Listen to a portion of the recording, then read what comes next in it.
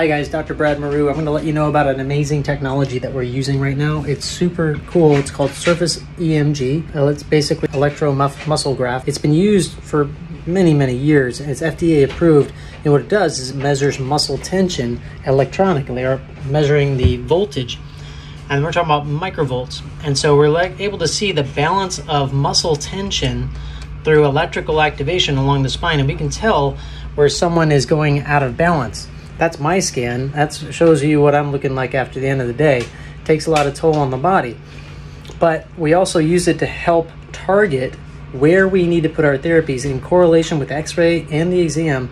So it makes our care that much more precise and that much more effective so we can get people better faster and with more long-term results. I hope this helps. I would love to see if this could help you find out what may be going on with you or a loved one. Take care. Have a good one. Bye